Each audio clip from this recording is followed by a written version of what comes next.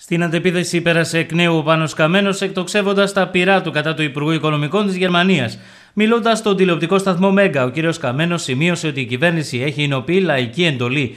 Ανέφερε ωστόσο ότι σε περίπτωση που προσπαθήσουν να μας επιβάλλουν παράτυπα έξοδο, θα μπορούσε να γίνει δημοψήφισμα. Θέμα για εκλογές, ε, επειδή πρέπει να πάρουμε φρέσκια λαϊκή εντολή, δεν υφίσταται. Ένα ενδεχόμενο δημοψήφισμα σε περίπτωση παραδείγματος χάρη που παραβιαστεί η Ευρωπαϊκή Συνθήκη και πούνε κάποιοι ότι θα ακολουθήσουμε το Σόιμπλε και θα πρέπει να βγάλουμε την Ελλάδα παράτυπα, παράνομα από την Ευρωπαϊκή, από την Ευρωζώνη, πιθανώς τότε να χρειαστεί να γίνει κάποιο δημοψήφισμα.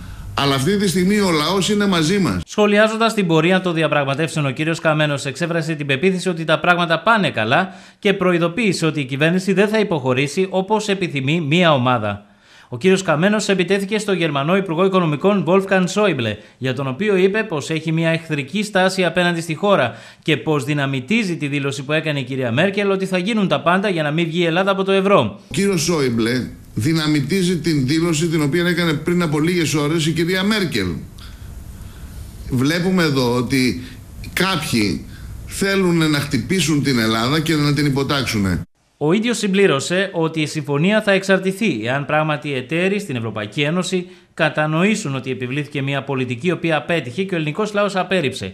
Η ελληνική πλευρά, έχοντας κάνει αρκετά βήματα μπροστά σε σχέση με μεταρρυθμίσεις, με αλλαγές στο δημόσιο τομέα, έχει προσφέρει αρκετά καλή εικόνα για το τι θέλει να κάνει. Η εσωτερική υποτίμηση και η υπερφορολόγηση, η μείωση μισθών και συντάξεων φάνηκε ότι απέτυχε. Κάτι που παραδέχονται και οι διεθνείς πιστωτές, σημείωσε και πρόσθεσε ότι ο κ. Θεοχαράκης επί 32 ώρες μιλάει με τους θεσμούς, προχωράμε στα τέσσερα θέματα που ζητούν, προσαρμοζόμαστε χωρίς να υποχωρούμε από τις θέσεις μας, απαντούμε και μετά έρχονται άλλα 25 θέματα. Ποιοι παίρνουν πια ψηλές συντάξεις; Έχουμε να τα δούμε.